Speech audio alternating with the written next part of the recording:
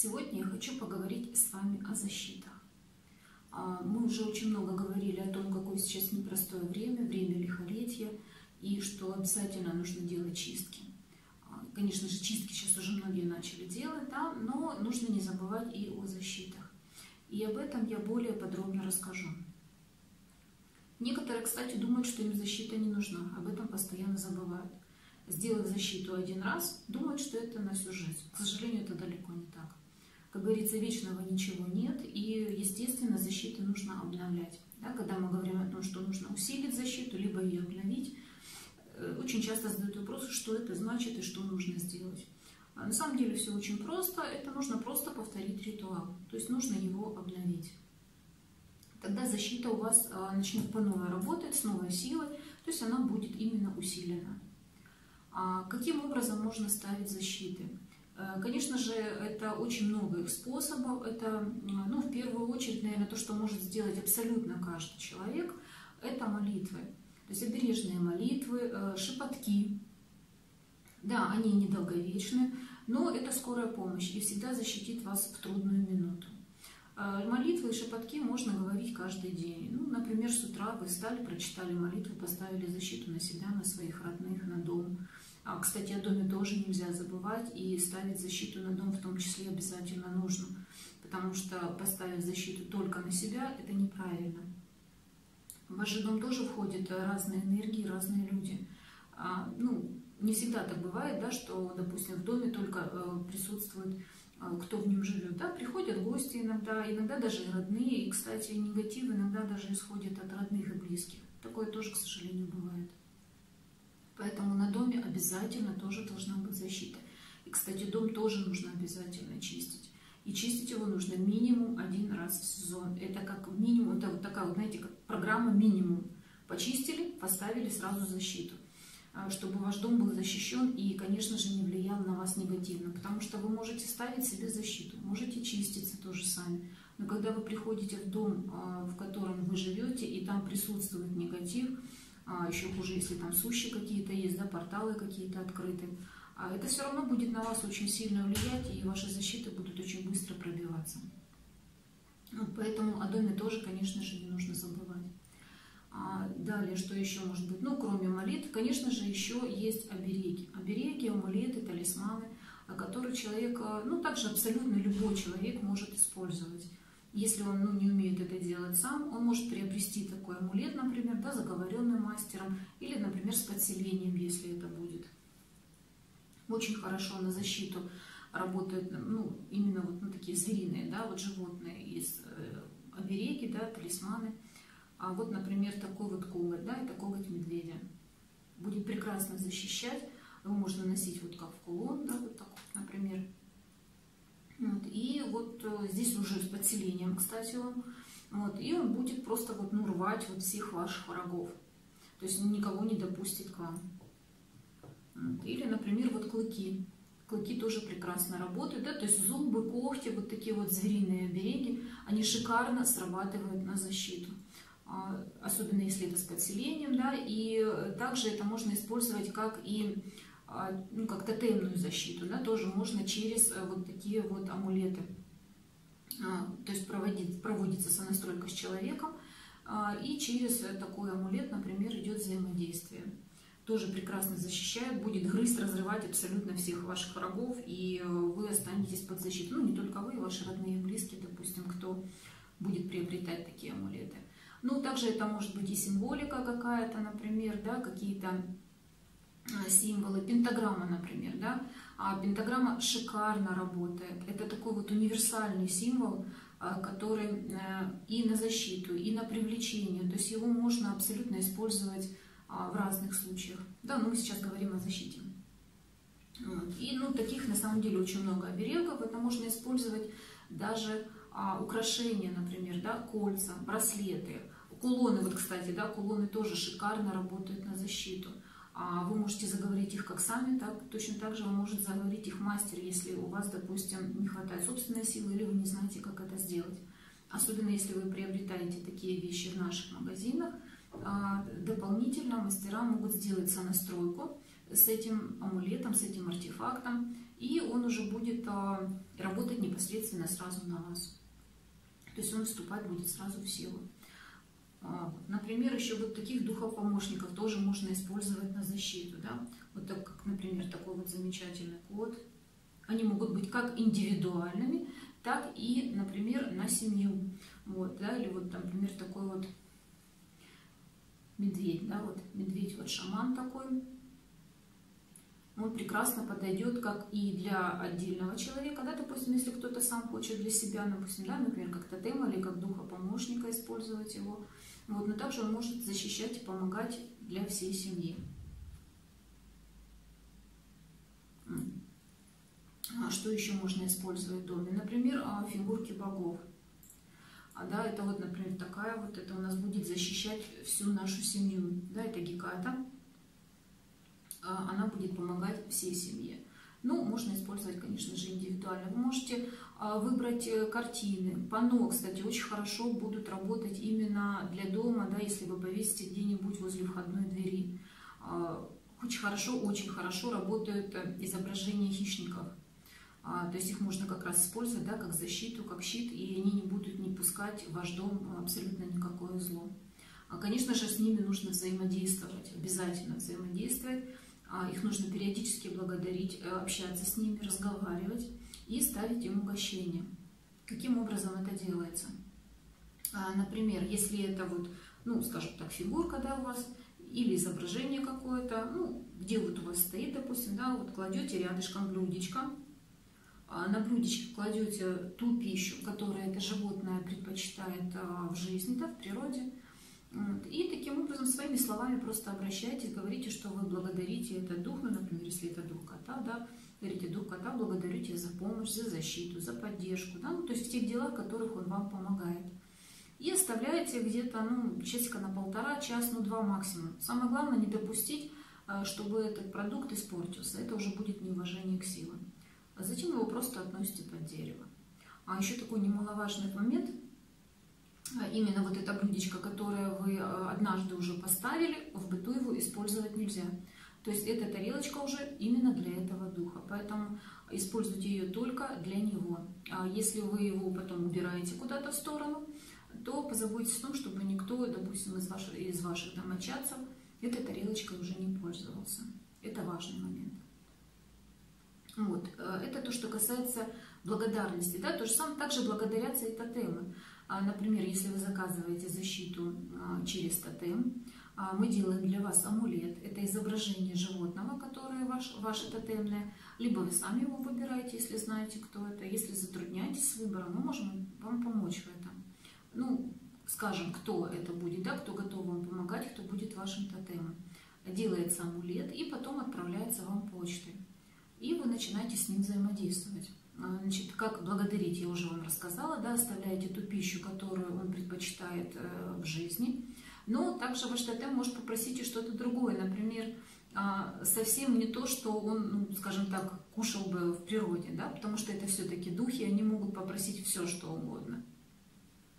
Поэтому прислушивайтесь обязательно к ним и не забывайте их благодарить за помощь и за поддержку. Это очень важно. А, где тотемы располагают, да, вот эти амулеты, обереги. А, их можно припрятать в укромном месте, но можно и поставить, наоборот, на видное место. Здесь вы уже, когда проходится настройка у вас, да, вместе с этим духом, например, каким образом вы узнаете, где ну, поставить, например, да, фигурку или изображение. Ну, когда вы приносите домой или получаете, например, по почте, да, приходите, ну вот, например, взяли вот и спрашиваете, например, дух кота – а, где ты хочешь жить. Вот. И как бы вот смотрите по своему пространству, там, ну, как взглядом окидываете комнату, например. Вот. И где у вас взгляд зацепился, ну, значит, ему там хочется быть. Вот, ну, и ставите его туда, там, может быть, на полочку или там на шкаф, я не знаю, может быть, возле кровати где-то захочет на тумбочке у вас жить, рядышком с вами. Вот. А может быть, наоборот, захочет спрятаться куда-нибудь в шкаф, чтобы его никто не видел. Такое тоже может быть. Вот. А в какой-то период, может быть, наоборот, попроситься, чтобы его все видели и поставить на, на куда-нибудь на видное место. То есть вы с ним, когда разговариваете, вы уже будете чувствовать это. А также можно дать имя, если, например, вот это не дух-помощник, да, который уже с именем, с подселением, а именно тотем, а просто это как дух животного какого-то, да, вы можете давать имя и уже обращаться тогда по имени. То есть это еще больше уважением будет к вашему тотему, и он обязательно будет вам помогать. Также есть еще замечательный ритуал помощь и защита тотема. Это немножечко другое.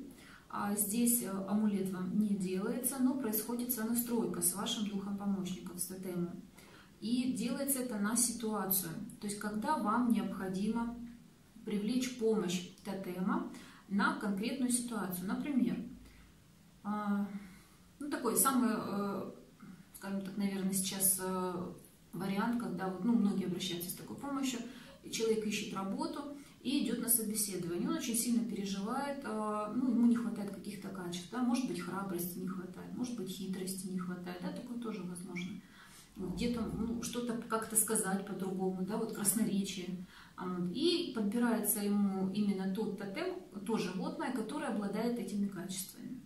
А, и человек тогда получает силу этого тотема и уже спокойно проходит собеседование, то есть у него появляются те качества, которых у него, ну, скажем так, они слабые были, да, либо, может быть, вообще не было, такое тоже бывает. Вот. Но, тем не менее, усиливаются именно эти качества. То есть животное, этот тотем, он одаривает человека этими качествами, он становится сильнее и уже благополучно завершается та ситуация, в которой ему нужна была помощь. Вот, вот этим отличаются как бы вот эти две защиты, да, просто защита через тотем и помощь от защиты тотема. То есть здесь оказывается помощь на конкретную ситуацию. А, значит, э, тотемов может быть много. Часто очень задают такой вопрос. Ой, у меня уже есть тотем, мне уже все.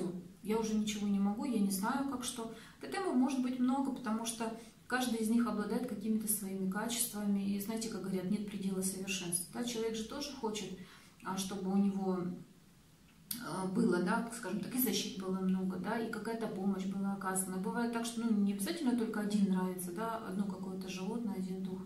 Бывает так, что вот, ой, мне очень нравится вот и кошка, я обожаю медведя, да, например, и очень люблю драконов, да, вот, и хочу и то, и другое, и третье, да, пожалуйста. Пусть у вас будет несколько тотемов. Самое главное, чтобы вы не забывали с ними взаимодействовать. Их ни в коем случае нельзя обижать, с ними нужно общаться и периодически обязательно благодарить.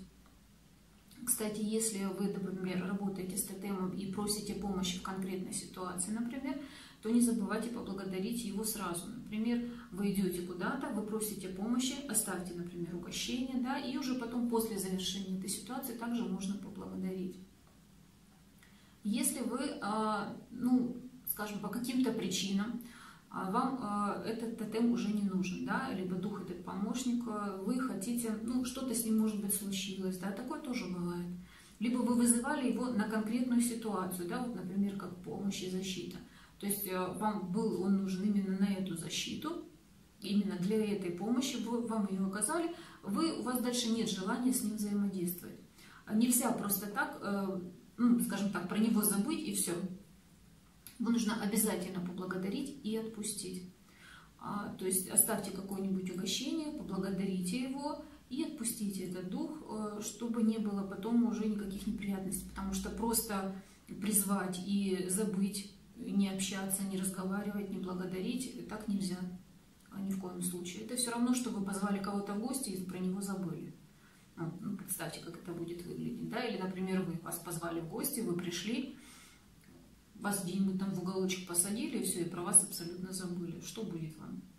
Обидно будет, да, в первую очередь, наверное. Потом может быть, злиться начнете, да, или еще что-то. То же самое происходит и с духами. Поэтому уважение обязательно нужно к этому проявлять.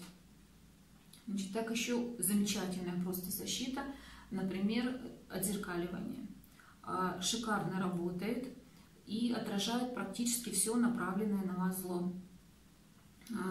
А, работает очень хорошо. Здесь тоже делается амулет а, через зеркало и отправляется вам почта, ну, либо на месте вы его забираете.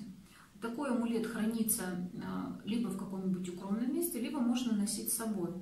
Но силу, естественно, конечно же, он не теряет, даже если вы находитесь, ну, может быть, даже в другом городе. Очень часто мамы, например, на детей, когда заказывают такую защиту, переживают, что как же вот можно, вот я у себя буду хранить, ребенок, например, находится в другом городе, да, или учится, или работает.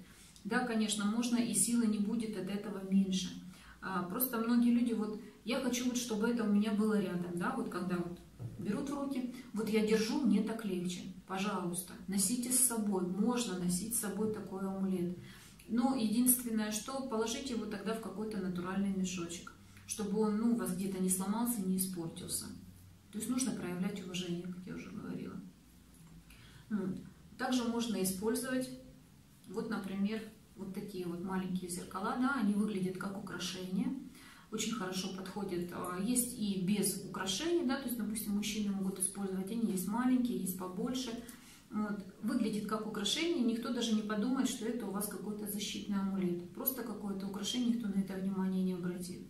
А на самом деле это будет мощный э, ваш оберег, мощный артефакт, который будет вас защищать от любого направленного на вас негатива, любого зла.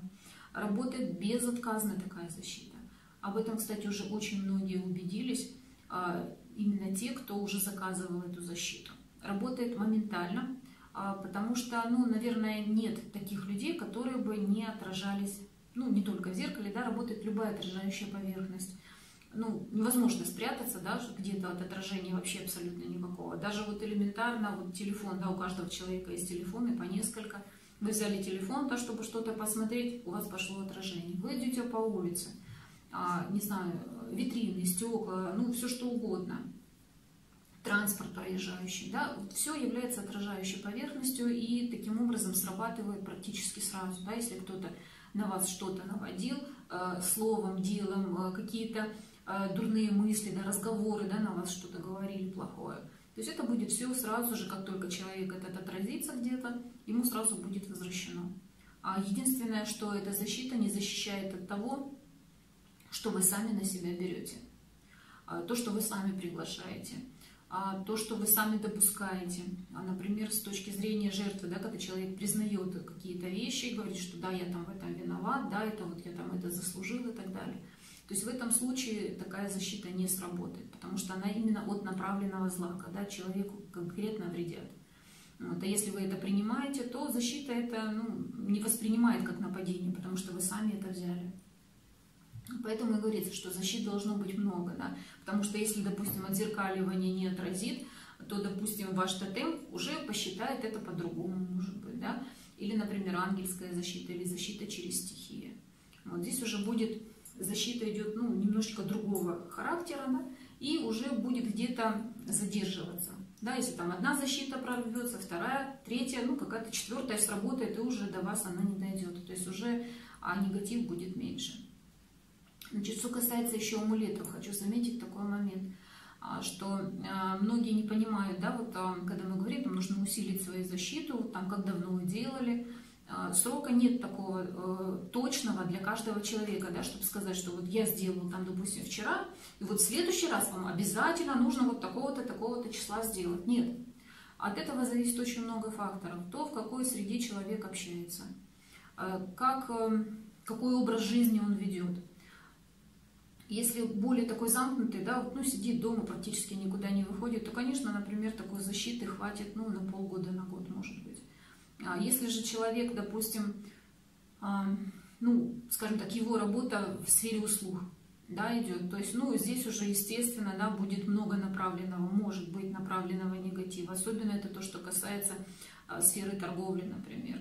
Ну, к сожалению, да, очень много людей агрессивных, то им цены не нравятся, то им еще что-то не нравится, и все это выплескивается именно на сотрудников магазина очень часто. Хотя в этом они абсолютно не виноваты, но людям же надо куда-то свою агрессию выплеснуть. Вот они ее выплескивают. А если вы были, например, в каком-то эмоциональном подавленном состоянии, то есть вы это легко нахватали. Поэтому обязательно нужно делать чистки и ставить защиты разного характера.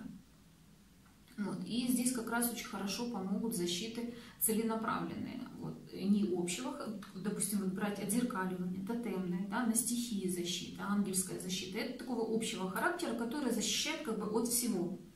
Вот. Но есть и защиты, а, например, а, защита от бесов, да, защита от вампиров.